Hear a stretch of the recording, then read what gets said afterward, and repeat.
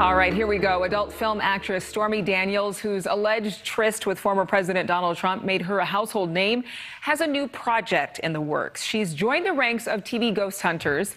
Daniels has spent more than a year producing her own paranormal TV series. She spoke to News Nation's George Knapp about her latest chapter. Stormy Daniels is ready to move past the political and legal turmoil generated by her lone encounter with former President Donald Trump. She still tours the country, making appearances at nightclubs, has tried her hand at being a stand up comic, and jousts with her critics on social media platforms. But for more than a year, she's been pursuing a lifelong interest in the paranormal. Daniels and her team have aimed their tour bus toward the most haunted places in the country, trying to engage with ghosts or spirits as part of her self funded TV project, Spooky Babes. Daniel says the entities she's encountered are, for the most part, not malevolent.